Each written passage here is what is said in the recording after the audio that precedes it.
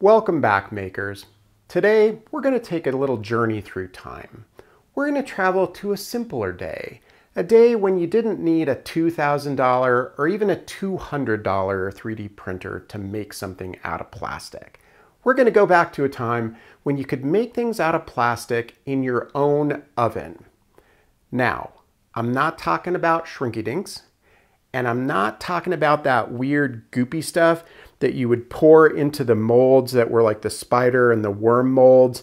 And then, you know, you would plug it in and it would sit completely exposed on your countertop and it would get cherry red and then the stuff would congeal and then you'd try and dig it out before it cooled down and you'd get like second degree burns on your knuckles. Um, not that stuff. I mean, I think that went away right about the same time as lawn darts. What I'm talking about is polymer clay. Now today I'm going to show you how to make a Kodama from Princess Mononoke. Kind of cool. I'm not a great sculptor, but I think we might be able to pull something off.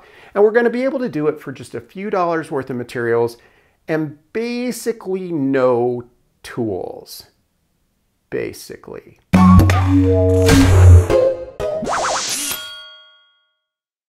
Since this is an introduction to polymer clay, I'm going to try and keep this as simple as possible. Not a lot of fancy tools um, and not a lot of material. I really only need two colors for this. We're going to make a little Kodama here.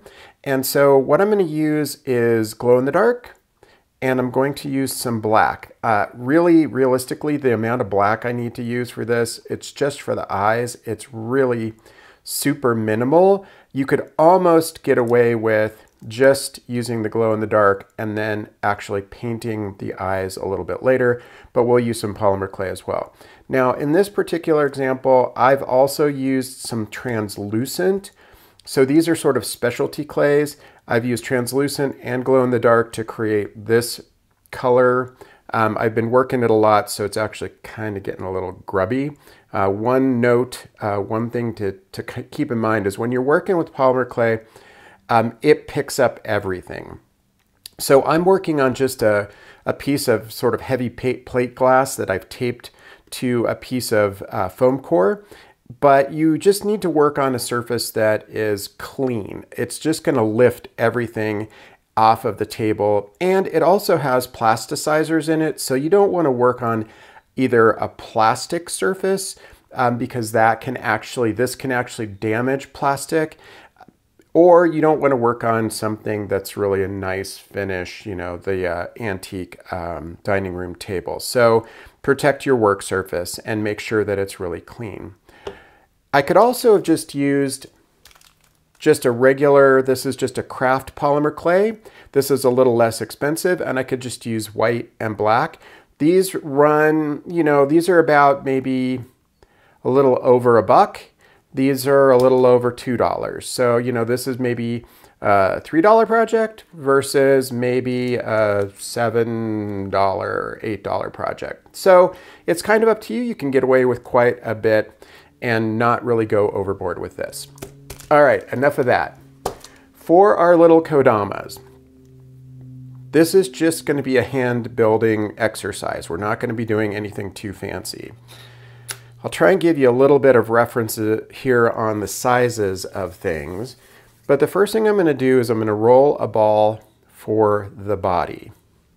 And it's going to be somewhere in the neighborhood of about an half an inch to maybe 5 eighths of an inch in diameter. Now the thing about this is I kept making the bodies too big when I was kind of practicing for this and scale is really important in getting these things to look right and look kind of appropriate for the Kodamas. You know, you kind of want them to be whimsical and a little weird and wonky. So the heads are really big and the bodies are kind of uh, weird and, and tiny or really elongated and stretched. So scale is going to be something that you'll have to play with. Now what I did was I just sort of made it into a little cone and I flattened out the bottom just a tiny bit. Okay. Now once that's done, I'm going to take another little blob and I'm going to roll out the arms, and the legs. There's not a lot of detail in the reference um, photos that I was looking at. Um, the hands actually, the arms and legs kind of just almost taper down to really little um, kind of points almost, like a little blunt ends. So I'm going to roll out a little um, snake. This is about a little over an eighth of an inch in diameter, maybe like 3 sixteenths. And I'm just going to cut some long pieces for the legs. I'm going to go a little bit longer than I need because I don't want to have them turn out to be sort of stumpy and short and then have to go do them again. Polymer clay, once you sort of put it together, it will start to actually sort of stick on its own. And if you let that sit for a while, it'll actually start to fuse. So you don't want to have to peel and remove and stick and put back. It, it starts to get kind of messy. Now for the legs, what I'm going to do is just come in and I'm just going to kind of slice off a little bit of a taper on the edge. And that's going to make it easier for me to blend it into the body. So I'm just going to come and here's my leg. I'm just going to put it right on the bottom sort of like that. And you can see how it really, that taper just makes it really easy and nice to just sort of blend that in. I'm going to bend up the knee. You can see I actually already sort of feel like I don't have enough leg. But I'm going to just stretch it out a little bit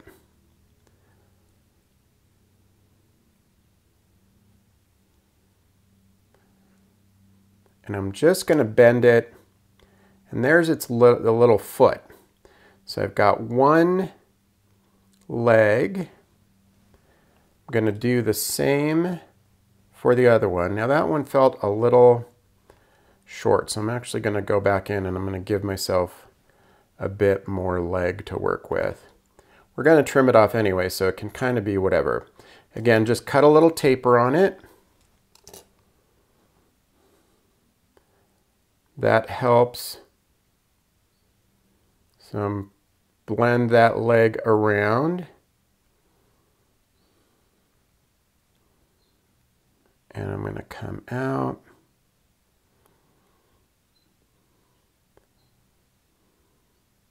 And this leg's going to be sort of up. I'm going to pinch just a tiny bit of that excess off. taper out that foot a little bit. Now I can go back in and I can sort of work the um, blending points back here with the body, but I'm just going to let that set for a minute. And you can see I've got it sort of asymmetrical, like this leg's a little bit sort of flopped over a little bit. This one's a little bit more vertical and that's kind of nice. You know, you're kind of you want to give your your character some character. So those are the legs. Okay, now we need some arms. And the arms again are going to be just a long snake. Make them a little bit thinner.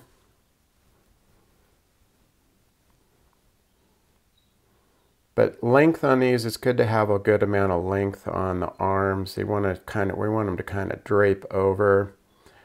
So, you know, maybe sort of like that. I can always pinch them a little bit shorter. Again, I'm just going to sort of blend that edge, pre-blend that. I'm going to come in and just sort of right at the shoulder. Yeah. Bring that in. That was a little excessive in my arms.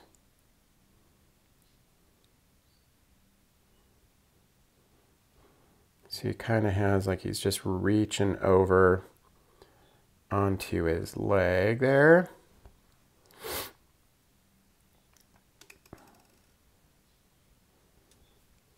Gonna do the same.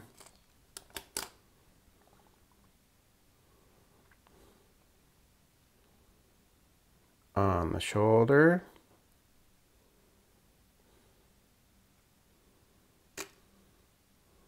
So he's kind of maybe just hugging his knees a little bit as he's sitting there.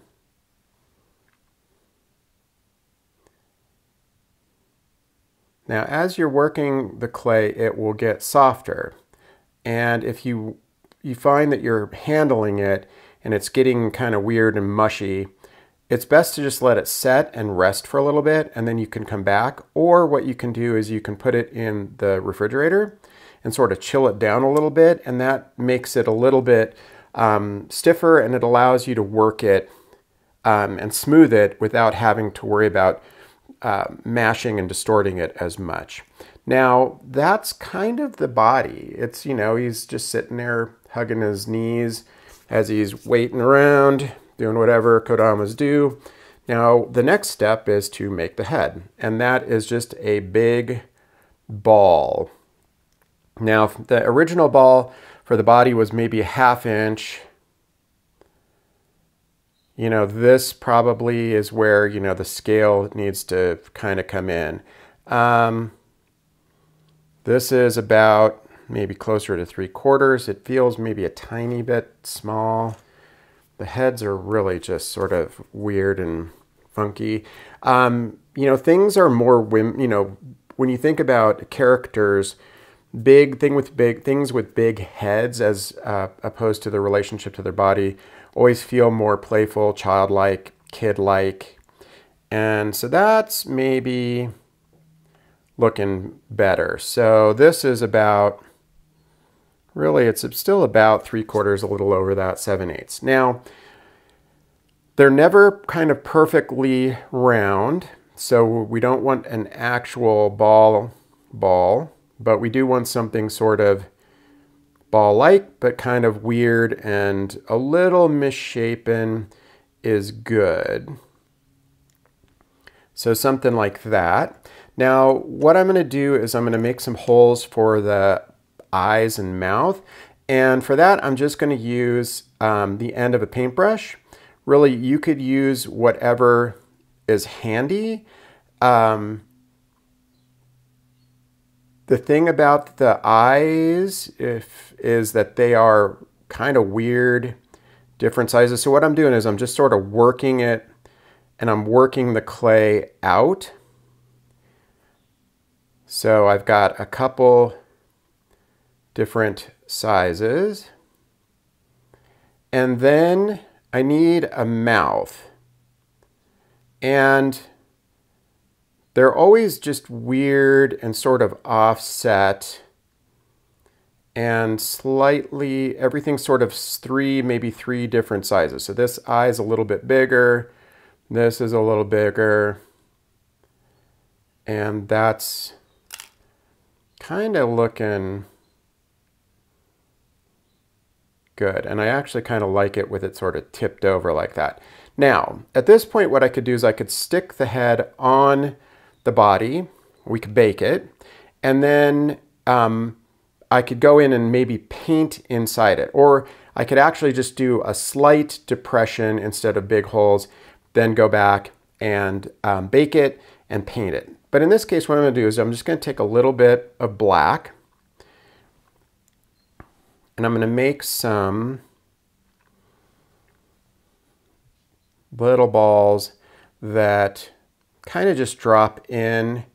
And then what I'm going to do is just work it around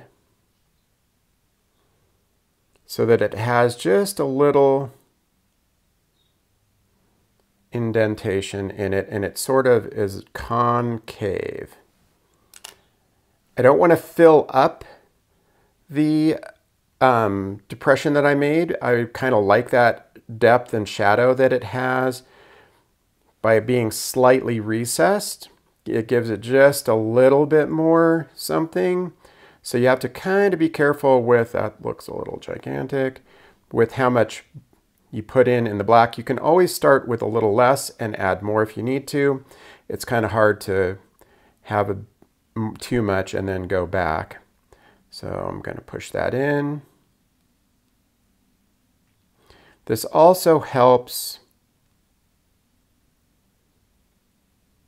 that hole to maintain its shape. And I got a little piece of something in there that's going to annoy me.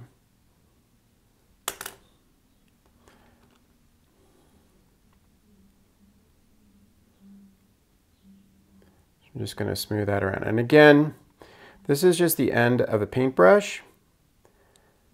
You could use really kind of anything that is that shape. You could take a stick and piece of dowel, chopsticks you get from your last takeout. Okay, and then the mouth, which is another tiny little piece. Maybe even tinier than that. Okay, so I'm going to push that in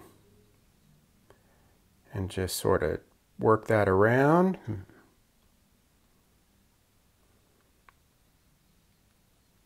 Okay, so that's looking pretty good. I like that.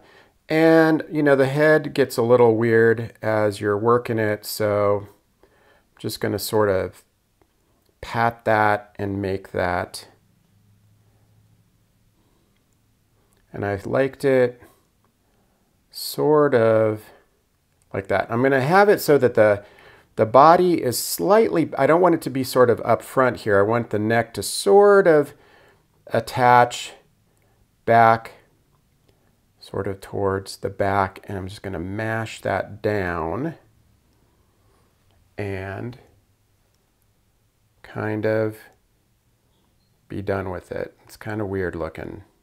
Now, the next step is to bake. And so a couple notes on that. So what I'm going to do is I'm going to, I'm just going to use a toaster oven that I've got kicking around. You can bake this in your oven. Um, the thing to keep in mind when you bake is you want to preheat your oven before you throw something in because initially for ovens to come up to temp, the, the heating elements tend to just really blast to get that temperature up really quickly. And so it's actually radiating and putting out a lot more heat than your final temperature. On a light color like this, or like something like this or this or any of these lighter colors, if you just throw it in the oven while it's still sort of coming up to temperature, it will fry it, it'll burn it, and, and you'll be sort of out of all of your hard work. So what I'm gonna do is I'm gonna uh, fire up the toaster oven, get it up to temperature. Uh, each of these these bake at about, um, always they're all about the same. This is 275 uh, Fahrenheit or 135 C. Um, I actually have a little thermometer, oven thermometer, just to make sure that my toaster oven is, you know, it's cheap, it's it's not accurate on the dial, so I want to make sure that I'm about at the right temperature. And then the baking time says about 15 minutes for each quarter inch of thickness. Again, these are somewhere in a half inch to maybe three quarters of an inch. We'll bake it for maybe 30 minutes and uh, see what we end up with. It's better to sort of be, like I said, on lighter colors, be a little on the gentle side. You don't want to really burn them. Um, that could be bad and it really ruins the effect. So what I'll do now is fire up the toaster oven, get it up to temp, throw this in, bake it, and see where we land. Our Kodama is out of the oven and something's already looking a little, a little wonky. So rather than looking like you just has been frolicking through the sun-dappled forests of mystical, magical Japan, it kind of looks like he skipped town for spring break and was, you know, spending a lot of time drinking beer on South Padre Island and didn't put enough sunscreen on. He's a little golden brown, and that's really noticeable when you compare it to the base clay. This is where we started and this is where we ended up. He's definitely a little bit more on the crispy side. Now, what I did is immediately when I saw that, I put together another little Kodama and I threw it in the oven. This is the same sort of size, the same sort of mass, and baked it at a lower temperature for less time. So this is 275 for 30 minutes. This is 250 for about 20 minutes. Keep in mind, this is all based on an $11 oven thermometer in a really cheap toaster oven, so your mileage may vary. This is what it should be, and it looks a lot more like the glow-in-the-dark color, which is to be expected. It's changed a little bit, and that's fine and normal, but this is definitely burned. Now, what that means is the recommended temperature and time on the package is, is a starting point. So if you're putting a lot of time and a lot of energy into a project and a lot of material, what you'll want to do before you bake it is do some test baking. Take some of the same material, same general thickness, and bake it for what you think is the right time and the right temperature and see if you get good results. Now these are quick and they're not a lot of material. And so I don't have a lot of emotional investment in these. I kind of do feel this was a better uh, sculpt. I'm not a sculptor, but this was a little bit better than this one. So I'm sad that this one was the one that got a little burnt. Um, but you know, at the end of the day, these are definitely things that I could uh, both chuck and then iterate on and not feel like I'm breaking the bank. And that is why I like polymer clay. Now, I hope you found this video useful, inspiring, and maybe inspires you to go out and make one of these for your very own. Um, please subscribe to my channel or hit that like button below. Both are better. And we'll see you back real soon for another project.